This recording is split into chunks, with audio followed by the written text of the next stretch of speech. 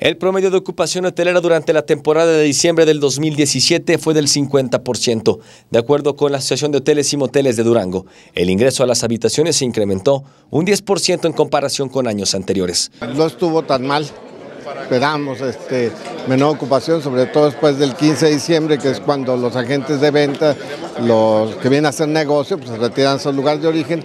Sin embargo, tuvimos presencia, eh, sobre todo en el centro histórico, los hoteles que están en el centro histórico, de gente que vino a los municipios a hacer compras en diciembre y se hospedaban dentro de los hoteles.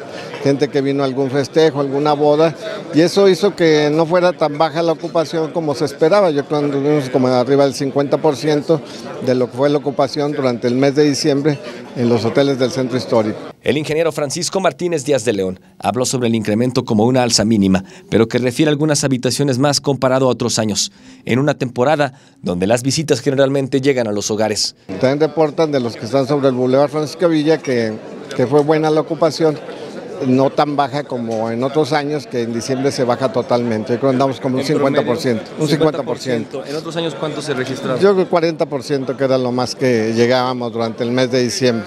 Hoy hubo un aumento porque, bueno, pues vino, vino gente, tan, ya sea paisanos o sea gente que vino a, a visitar aquí a, a, parientes a la ciudad de Durango. ¿También registraron una baja de paisanos ustedes, los hoteleros?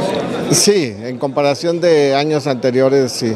Se hace 6, 7 años, uh -huh. la llegada de los paisanos era, era más grande. Con imágenes de Donato Herrera, en Canal 12 Noticias informa Salvador Mercado Hurtado.